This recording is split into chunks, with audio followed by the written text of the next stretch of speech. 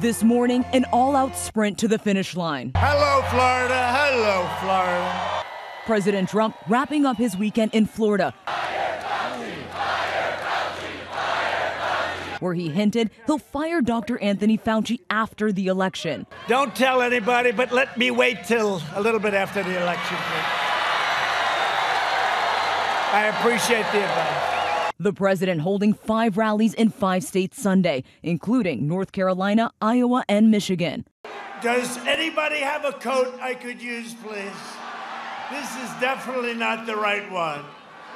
The president also speaking to voters in Georgia, a state he easily won in 2016. I shouldn't even be here. They say I have Georgia made, but you know what? I said, I promise we have to be here. Joe Biden is promising to postpone the vaccine, delay therapies, and turn America into a prison state. Lock it down, locking you in your home. And Trump calling out the Supreme Court after it ruled against blocking a three day extension for receiving absentee ballots in Pennsylvania and North Carolina. Let's give them an extra three days and let's take all the time you want. You know, people want to know, and you know, bad things happen in places like Pennsylvania and Nevada. We love Nevada, but you have a governor there. Bad things can happen. That little intervening, let's take plenty of time. No, that's a that's a terrible ruling for our country. I don't care. It's a terrible ruling. The passion surrounding the race now spilling into the streets.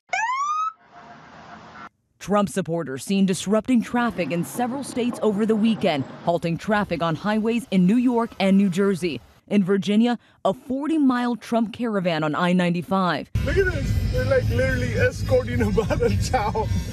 And the FBI is now investigating this incident in Texas, where a caravan of Trump supporters surrounded a Biden campaign bus. The campaign claims the vehicles tried to, quote, slow the bus down and run it off the road.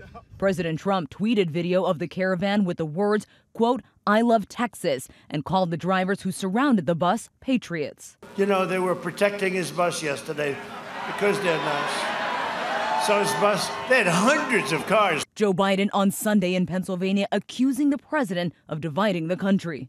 In two days, we can put an end to a presidency that has failed to protect this nation. In two days, we can put an end to a presidency that has fanned the flames of hate all across this nation. Biden also delivered a blistering critique of the president's response to the pandemic and his foreign policy. He's Putin's puppy. That's who he is. Donald Trump's not strong. This makes me angry. Donald Trump's not strong. He's weak. He commands virtually no respect on the international stage. And now, some star power joining the Biden campaign. We're almost there. We need to talk. Today, Lady Gaga joins Biden for an event in Pittsburgh. One day, when the glory comes. And John Legend set to make an appearance with Kamala Harris in Philadelphia.